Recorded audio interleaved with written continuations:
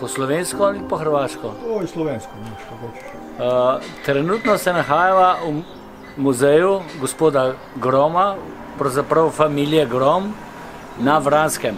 To je, mislim, da je največji in najboljši muzej v spodnjem delu Evrope.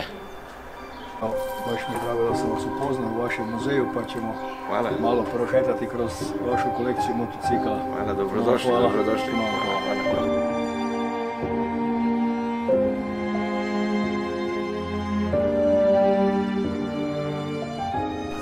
Kaj poslušaš? Tako se spravil. Hvala, hvala za zaupanje. Malo, malo. To v glavnem vse so oni restaurirali. Ne?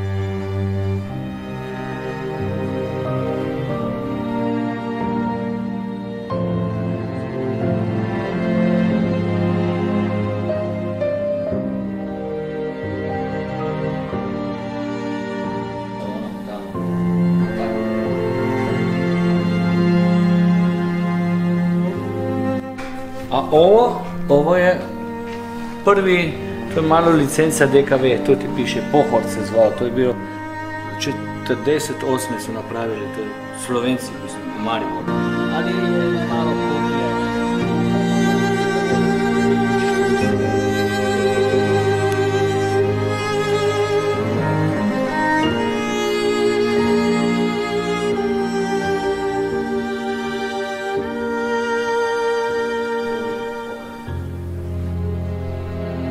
Ono što je rakove, mislim, ovaj Matulja zadnji, to je original, nije replika. Ovo je od Matulje motor, taj.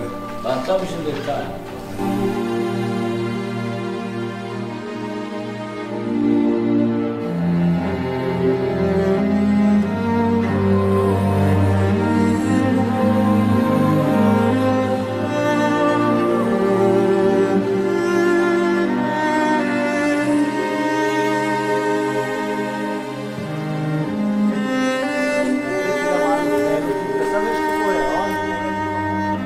Hvala gospodu Gromu, da nama je dovolil ogled muzeja, na hitro ogled muzeja, več sledi še v drugih oddajah.